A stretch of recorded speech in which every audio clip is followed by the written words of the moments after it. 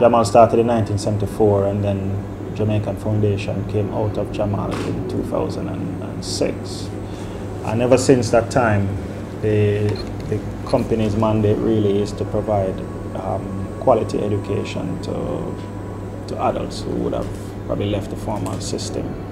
So what we do, are those who would have not been in the form, never been in the formal system. So what we do is that we offer programs and initiatives to reach out to those adults who are otherwise um, disenfranchised from the formal system. So that's really what we do. We're in the business of, of educating people who would have who need a second chance of get, at, at getting educated. Certainly this year we have about we have about 5,000 learners, approximately 5,000 learners that we are looking to treat within the last year, for example, 2014. We are at a stage where we can offer a high school diploma equivalency program to persons of, of, of, of, of any, any set, class or set of society who definitely need a second chance. Because we evolved from Jamal, what you find is that people still made reference to JFLL as a place of duns. As a matter of fact, people still refer to JFLL as Jamal.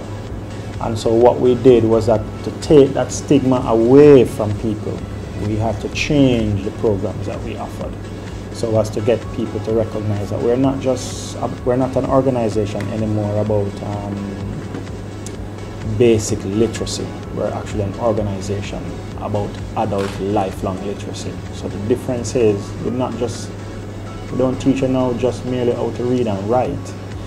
We teach you to read and write plus provide a pathway for you to continue your further education